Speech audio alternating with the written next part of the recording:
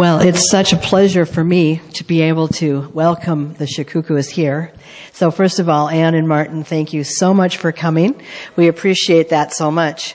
I remember when Pastor Randy called me, how long ago was that? And you said, I got this email from this guy who said he's from Glory Baptist Church in Africa. and we said, I said, oh, is that it's not Ethiopia, is it? because as you know, we get a lot of spam that comes out of Ethiopia. And he said, no, I think this guy is legit. And so he emailed him back and back and forth. And that was our initial um, introduction to Pastor Martin. And then he came to one of our conferences um, that year or the next year and we have enjoyed our relationship with them for all of these years since then.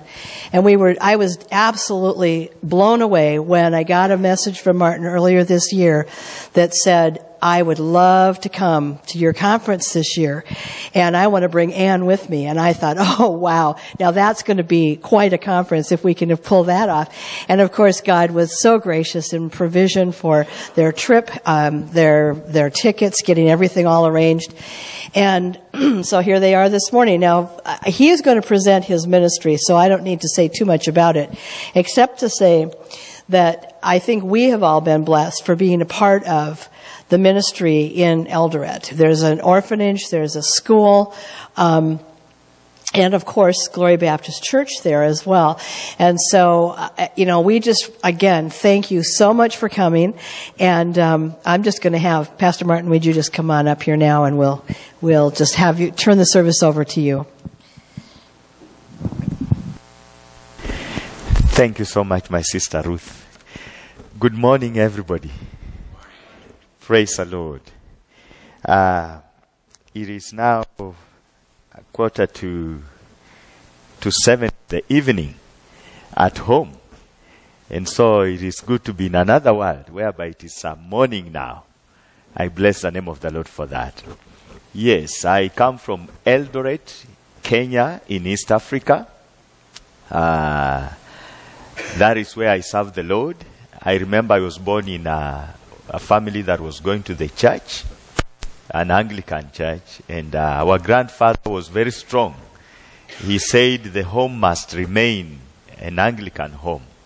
And so when our parents came up, they were f- fully in Anglican, and they also said their children have to be there. And so we were the children.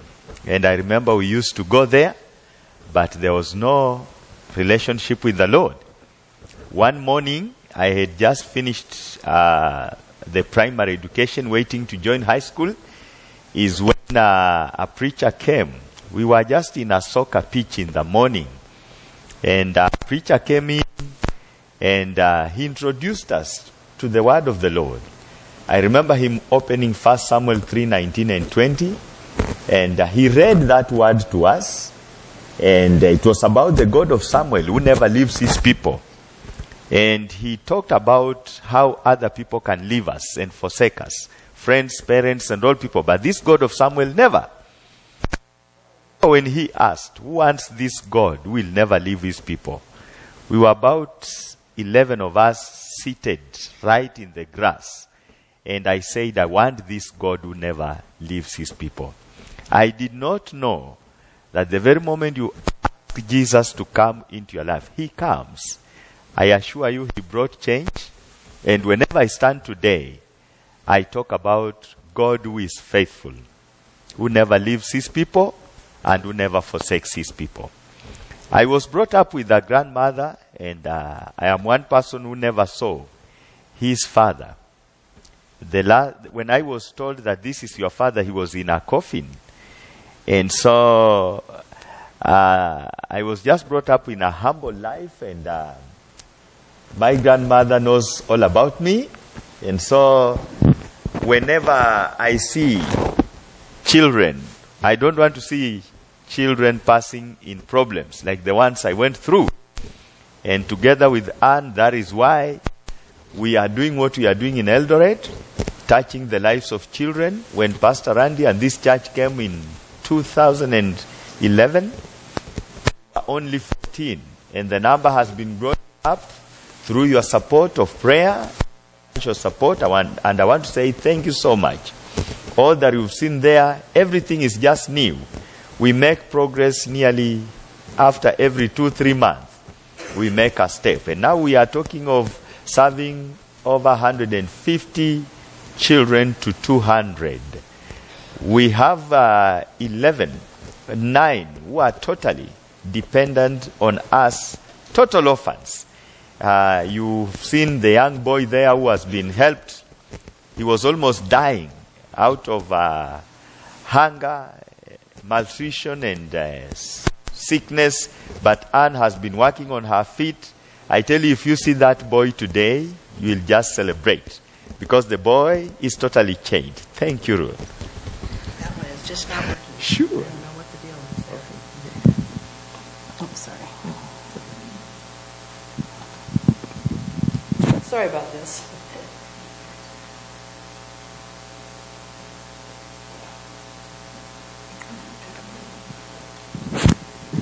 Thank you so much, Ruth.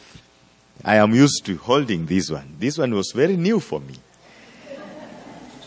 But I thank God now I can do something. This is how I do it. And I want to say thank you so much, Pastor Randy, for introducing me to our people in the States. We love you and we do pray for you. And uh, one of the reasons as why I said I have to come is that we welcome you to Glory Baptist Church in Eldoret again. Even if it is this year, we are ready for you.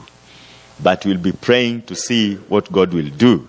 So we are doing the ministry of children. We have the Bible school, uh, tr- raising up the pastors and equipping them to do ministry, planting other churches. We have seven churches now, just planted around the Glory Baptist Church that is 21 years old. And uh, the Lord is blessing us. We have decided to stand strong, faithful, and committed to the Lord. Uh, another thing I just wanted to express is that anything that comes on our way in financial support, whether prayers, it makes a difference. And so I stand here on behalf of our ministry back in Africa to say thank you so much. Several challenges are there, especially the challenge number one is taking care of uh, those children. As per now, we thank God. We started and we did not know what is exactly to be done. But now we, we have seen that uh, we can take care of each child at 50, uh, faith, that is 500 Kenya shillings, which is $50 per child per month. We can serve one child, and we thank God for that. Uh, the challenge of teachers, the Lord is helping us. It hasn't been easy because of uh, taking care of teachers and meeting their needs. But now we bless the name of the Lord with your support and prayers. We can at least find ourselves having 200, uh, that is 200 US dollars per month, and it helps the teacher to be supported, appreciated, and continue serving our children. And so, let me just share God's word from uh, the theme of this missions conference, uh, the way our sister Ruth shared with me from Exodus 17. And I was reading through this book and I saw that for sure ours is the role of encouragement. And I just stand before this congregation to stand as an encouragement to you, just the way you have encouraged us. And for sure, that is the role we are called into, to encourage one another. And we can do this. As I was reading this, I realized that Israel, uh, the Israelites, had just crossed the Red Sea with the victory of God.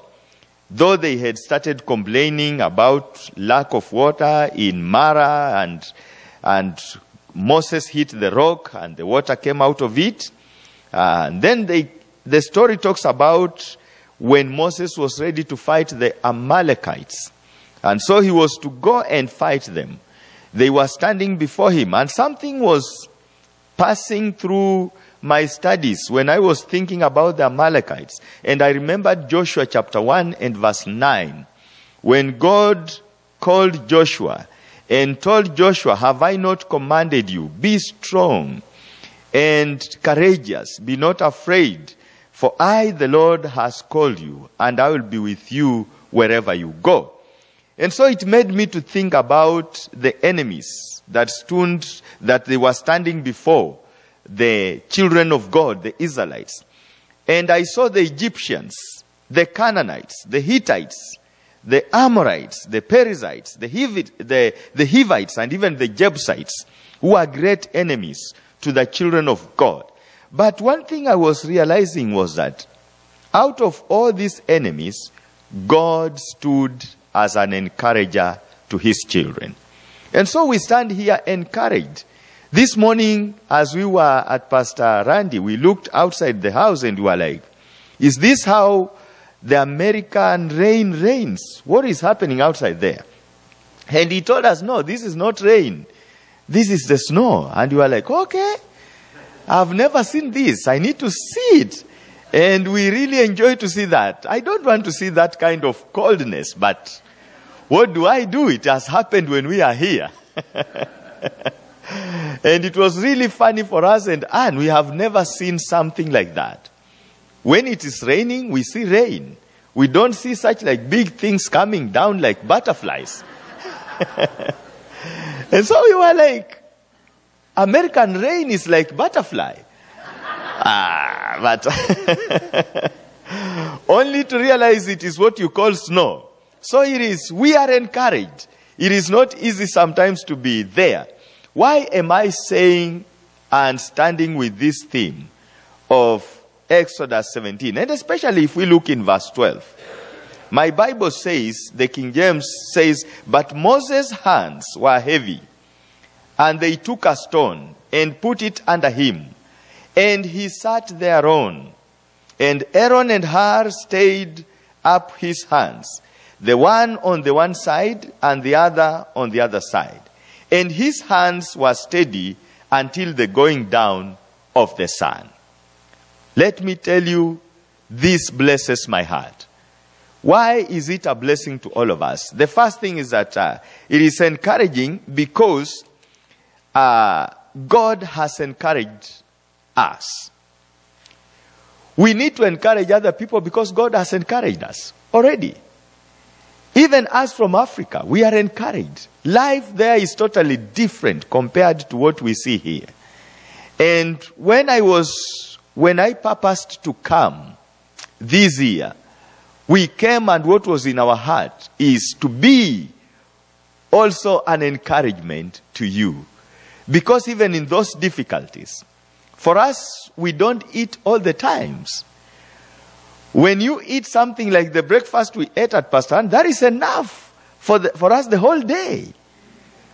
The issue of eating in the morning, even uh, lunchtime, even it's not there. You eat a small meal and you wait until tomorrow.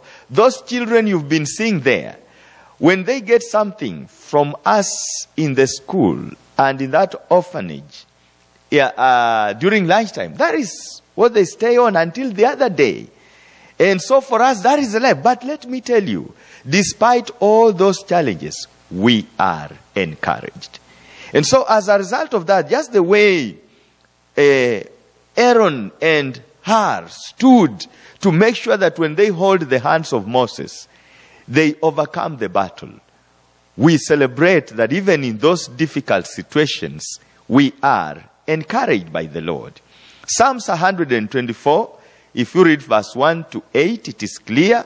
My Bible says, If it had not been the Lord who was on our side, now may Israel say, If it had not been the Lord who was on our side, when men rose up against us, then they had swallowed us up quickly.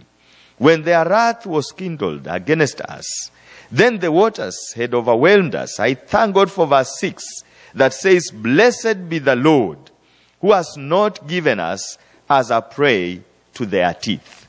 There are so many enemies that surround us sicknesses, illness, difficulties. But we bless the name of the Lord as Christians. The Lord is on our side. Verse 7 said, Our soul is escaped as a bird out of the snare of the flowers. The snare is broken and we are escaped. And verse 8, Our help is in the name of the Lord who made heaven and the earth. I remember this morning with my sister Cheryl, we were saying, Who is this? She told me something. That those balls of snow, each one is different. Something like that. And I was like, all these, they, each one is different. And he said, yeah, it is different. And we can prove that. How comes that it can be all that way? And Pastor added, it is just like our fingerprints. All of us, our fingerprints. More than 6.8 billion people in the world. Fingerprints are different. And we said, if that is how God works, there is God. And so we thank God. We are encouraged in the name of the Lord. So, brethren, God has encouraged us, no matter what happens. And as a result of that, we have to encourage. Why should we be an encouragement also? We need to be an encouragement because we all need encouragement. I've realized this. I know even in America, in one way or another, America needs to be encouraged. I remember last year when you were going through political whatever and all that. Yes, I was watching America closely and I realized America needs encouragement. And let me tell you, I was one of the people with our church who are praying for your country that will go through that uh, political transition well. Remember to pray for us. We are in the same now in Kenya. And things are not going well politically. Every person wants to, to be a political leader. And so the way we prayed for you, pray for us also. All of us need encouragement. Encouragement is needed to all of us. And all of us, in one way or another, should learn to encourage one another. As families, in our workplace, as churches, Glory Baptist Church in Aitkin, you've encouraged us in Eldoret, in Africa. You are very far from us. But let me tell you, we have always felt your love down there. And so, thank you for being an encouragement to us. People are suffering in their lives, in their sicknesses. People who have not given their lives to Jesus. Part of what we were showing up here, our church does also open air preaching. Something that was very funny to me the very first time I came to America in 2009. I was like, I'm not seeing people. Where are people? Because for us, we are used to passing around. People are everywhere. And it's when Pastor told me, when you see cars, when cars are parked somewhere and there is a building, people are inside that building. For us, it is not that way.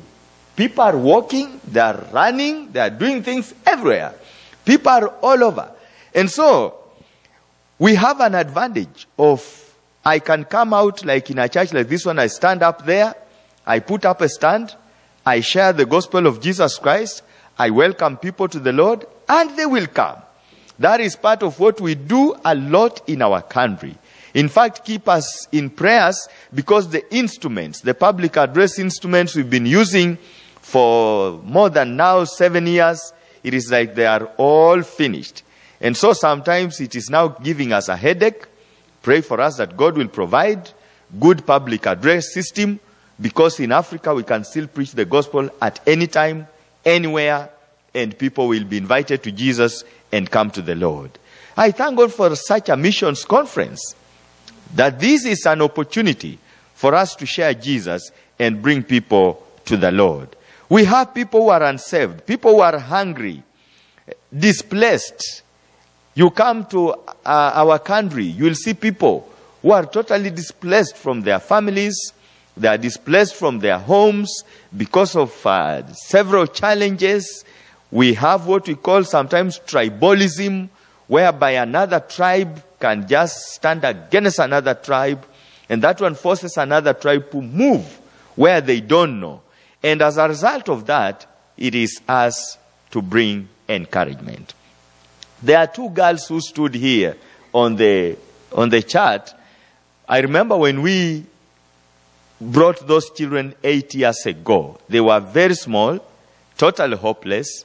They didn't know where to go, what to do. And this year, I thank the Lord that we can see them now, their first year in high school. And to me, when I see that with Anne, we thank the Lord. Because we know when they finish their high school education, Actually, when they go back where they came from, people do not go to school. Total 100% illiteracy. With high school education, when they go back, those are the people will be the teachers down there. They are the people will be taking care of other people. And so when we do such like thing for us, we feel totally encouraged that through those lives, after like 15 years or 12 years, we have changed lives and they can go back and change their people. We bless the name of the Lord. There is what we can do to encourage people. And finally, I want all of us to know that we can encourage people. Each and every person can encourage someone. You can. Through what we do, through what we say, we can encourage. Why? Encouraging is a ministry. And is a ministry from the Lord. It is either we choose to be encouragers or not to be encouragers. But the Lord has entrusted all of us with a ministry of encouragement. A person like me, I can't even tell how I can be an encouragement to a person. But I've had people telling me, Pastor, you have encouraged me in one way or another. You've helped me to realize my potential. And so I'm here to challenge all of us that we have a ministry as Christians of encouragement, and we should not neglect this. When we read from uh, 2 Corinthians uh, chapter 1, and I just want us to turn, if we have our Bibles, 2 Corinthians chapter 1. 2 Corinthians chapter 1, verse 3 and verse 4. Second Corinthians chapter 1, verse 3 and 4, my Bible says, verse 3 Blessed be God, even the Father of our Lord Jesus Christ, the Father of mercies, and the God of all comfort. Another version will call it encouragement. Verse 4 Who comforteth us in all our tribulation, that we may be able to comfort them which are in any trouble, by the comfort wherewith we ourselves are comforted of God. Praise be to God. We can encourage a person. Why? We have been encouraged by the Lord Himself. And having been enc- encouraged, we can also encourage people. Let us choose to be an encourager, and God will bless our lives. And so I thank God that today, despite of the lives we went through, despite the difficulties and challenges of life, despite of all that come on our way, we can also be an encouragement to a person. So we are called to encourage one another, and we can encourage by choosing to encourage uh, one another. Because number one, God has encouraged us. It is true, even through the salvation. The salvation we have is a gift from the Lord Himself. God came for us. Romans chapter 5, verse 8. God demonstrates His own love towards us, that while we were still sinners, Christ died for us. He came to encourage us in our sinful state. And secondly, we all need encouragement. So, brethren, as we walk around, remember, we all need encouragement. And finally, we can encourage. Nothing should stop us from encouraging one another. With those remarks, I want to say, God bless you. We love you. Uh, we do pray for you whenever we are where we are. And I want to believe you always pray for us and will remain together as Glory Baptist in the States and even in Kenya. This morning, my church elder told us to pass my love to you and greet you, and they welcome you to Kenya. God bless you so much.